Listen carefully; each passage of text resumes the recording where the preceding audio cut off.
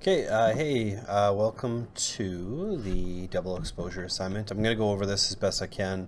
Um, I have provided another alternative too if you'd like to do an easier version. This is essentially just a really quick and easy version on how to do it. So this is a good uh, example here with the YouTube video. Uh, also, if you look in the description of this YouTube video, you can see that he provides the files for you to try to make this exact one as well. So you can do that as well. Um, I've also included a few other um, assignments. Essentially, these are three other assignments that would help with this one. Uh, you don't need to do those, but uh, again, those are just something that could help you along the process. Here's the final picture. So you kind of see the double exposure is uh, this woman and then uh, also like a mountain at the same time. Uh, so let's take a look at the assignment. Start one. Start by downloading the files. Um, if you click on that, I'm just opening this in a new tab so I don't lose my spot here. You'll see three files. One's the mountain photo, one's the portrait, and one says snowqueen.af photo. So this is actually an, a completed um, assignment, and I'll show you why that could be very helpful for you. So I just have them downloaded there to my desktop. Uh, what this is good for um, is using the history tool down here, you can actually see what it takes um, in every step. So for example, if you get stuck, you could go through here and just follow along by moving this. And these are all the steps I'm going to go over. Uh, also, if you wanted to abandon your, let's just say it just wasn't working out for you, uh, and you wanted to just start off fresh, you can basically just jump in at any point here and just work off this one. Just remember to go File, Save As, and rename it. Uh, but it takes your image from the start to this finished product right here. So I use this as reference quite a bit, um, but uh, again, you don't have to do that. And uh, the two, two images you'll need to create this are the mountain and portrait. So that being said, download them start off with the woman. So we're going to go to File, Open, and wherever you saved your files, I saved them to my desktop, and that's the name of it. So we're going to go File, Open, uh, Desktop, that one right there. You can kind of see it looks correct. And it should just open. Perfect. Looks the same. Uh, it is a locked background layer. Okay, right there. Oops. I hate it when that loses my spot there. Okay, so here uh, is where those preview, we preview, okay, there we go, select and refine it. So step two, uh, in the tools panel on the left hand side, select the selection brush and set the context toolbar to width of 150. So selection brush right there, shortcut is W. The width, tells us to change that to 150. Okay. And if you click, you can see my brush is now bigger. Perfect. Now click and hold and drag the cursor over the girl to paint the selection. Essentially all we're doing is selecting just the girl. Um, you'll see that it starts snapping to all the outlines. Be sure that the, the girl is selected. So and the reason why I'm telling you is because sometimes when you go over it quickly, you might realize that you're missing parts. So right here, the necklace. So that's too much, obviously. Oh, add. This is where add and subtract come in. So if you've grabbed too much, you can always go subtract.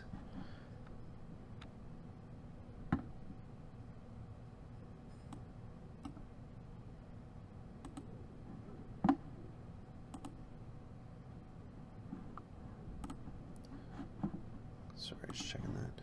Uh, keep adding.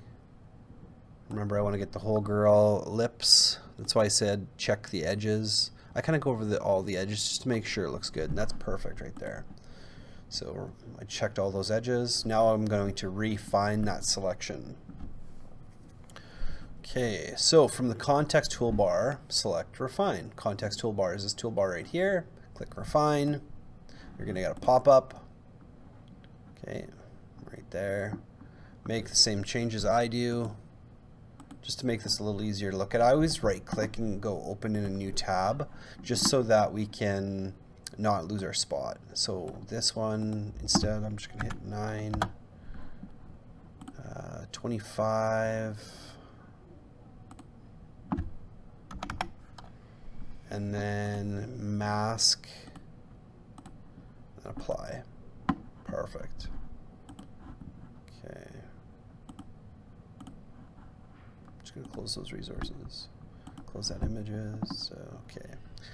After you hit apply, rename the layer from background to girl. So change that to girl. Perfect. Placing the image. So now we're going to place the snow mountain image over the girl and create a new background. The mount, uh, mountain image is carefully overlaid using your eyes judgment. All right, so file place. File place. Now we got to find our mountain. Uh, again, it's wherever you saved it. You should know where you saved it. I saved mine to my desktop. I'm going to hit open. And now it's basically going to say, okay, well, where do you want to put it? Um, just, I just clicked, uh, but now we need to resize it, obviously. So if I click on it, it should give me my selection tool. Oh, that came in very large. Just going to make it a little smaller move it kind of in the right place, hit control plus and control minus to kind of get me where I need to be. I'm going to try to copy this exactly. So drag from the top left hand corner. I could have just clicked and dragged um, to resize it. Uh, I did the other way. I just clicked to drop it full size. Now I'm moving it. So again, I'm going to try to copy as much, as closely to this image as I can. I can tell it's a little bit wider here. Um, I need to go a little higher. So that looks about right a little bit over here, tip of the nose, perfect. So that's about as close as I can see there. And then rename this to Snow Mountain 01. Really important to name these properly, uh, just so that you can see. Uh, you're going to have many, many layers by the end of this, so if you name them properly, it'll just make things much easier. Uh, step three, we're going to create a background. So from the layer menu up here, layer, select new layer, new layer. Perfect. Drag the new pixel layer down, bottom, there we go. Oh.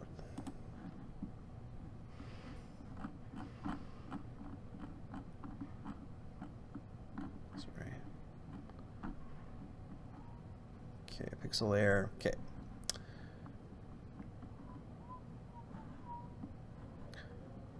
Okay, so we're there.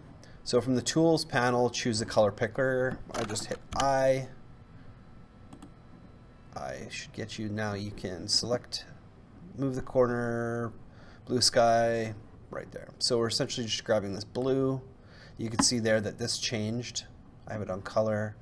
Uh, anytime I click on something, it's going to select whatever color is under my cursor. But we want to get this blue kind of in the mountains right there. Okay. Shoot.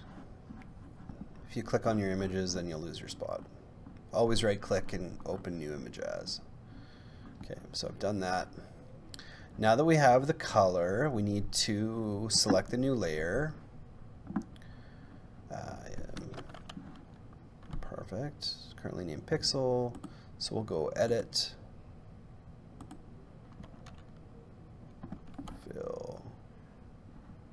Edit the top fill and primary color because the primary color is this one the secondary color is that back one please pardon the interruption any students going to the job fair are asked to please meet at the okay. front door by 9:45 And apply you see that now change it filled with that blue okay alrighty change the blending modes oh don't forget to change the pixel layer to background Perfect. Okay, so now you should have three layers, one with a mask. Should look just like mine.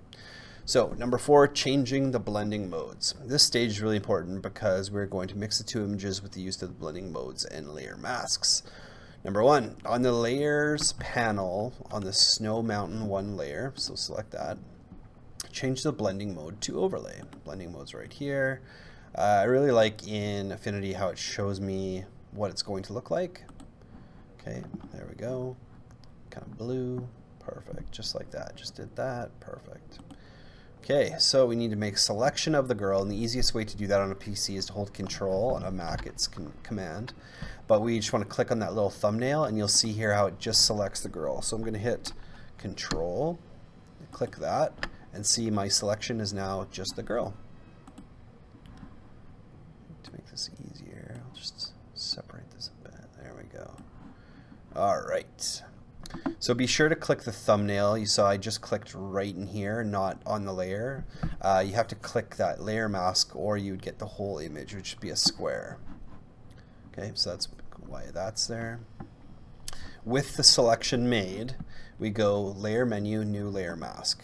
So layer menu, new mask layer. There we go. So you should have something that looks like this. Um, in my image, my screen capture, it looks black and white, but I don't know why that is. Um, that must be a mistake. Maybe I'll actually take a new screen capture just so it uh, looks a little different because mine here is blue like I have the blue and this is where people kind of thought that theirs looked different than mine Okay, so step five, we need to deselect this because you can see there's a selection.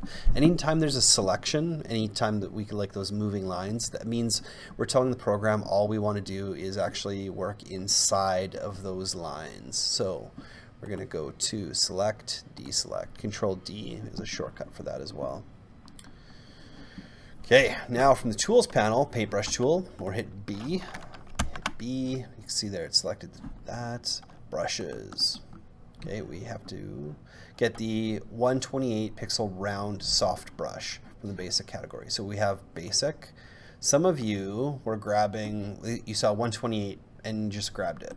That's the wrong one. Doesn't look very soft, does it? So if you go down to the bottom, you can see that this one looks much, much softer. There we go.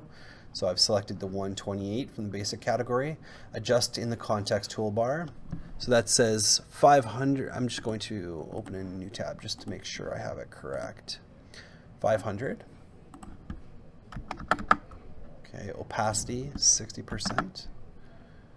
Uh, flow 100%.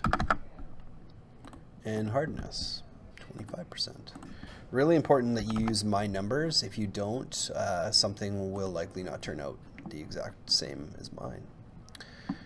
Okay, change that. Change the foreground color to, to black. So we talked about that before.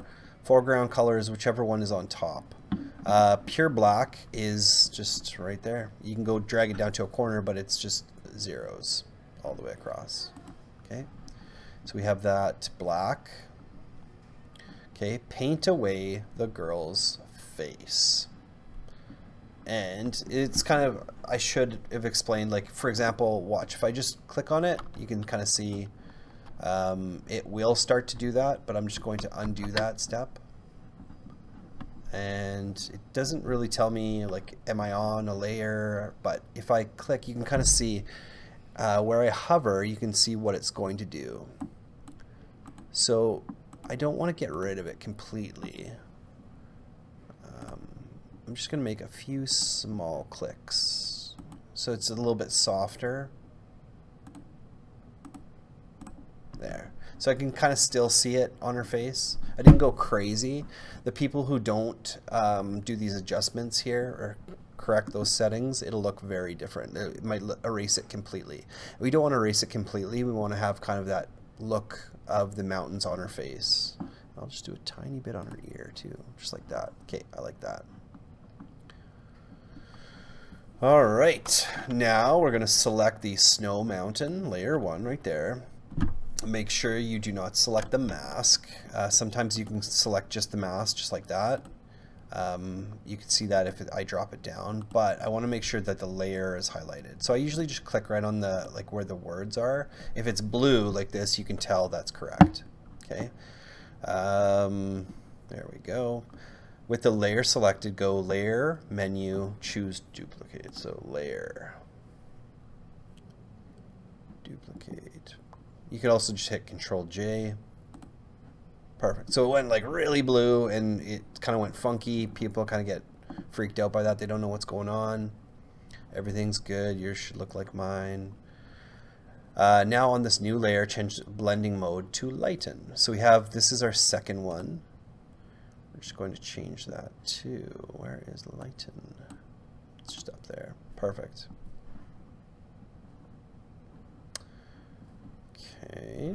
Now we need to click on the layer mask. We do this by clicking the layer thumbnail. So two ways to do this. You can click on that right there and it's hard to tell that's actually selected. But what I like to do is just click the drop down and if uh, you click on it right there, now we know just the mask is selected, not the layer. That's really, really important. Uh, we need to do some more painting, just like we did before. We're going to use the same brush we did before, but we need to change the opacity from 100% to 60. So, oh, okay. Uh, I might, sorry, I might change um, the reason why this didn't show up as dramatic is because uh, I had changed the opacity to 60 where I missed my own instructions. Oh, okay. Yeah, sorry. Right there. Oh, no, I did have it there. So I was right. Sorry. Okay.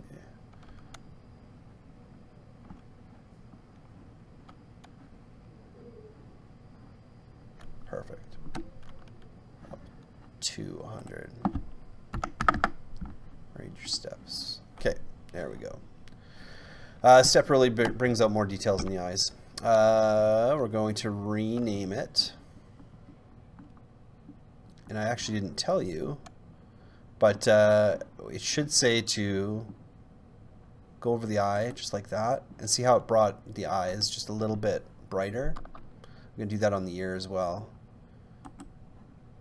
makes it just and if I hover over any other little section I might just do right there too. Perfect. I'm happy with that. Uh, and then just says rename it to Snow Mountain 02 perfect. Okay I'm gonna stop here 1 to 8 I'll make another video for the next steps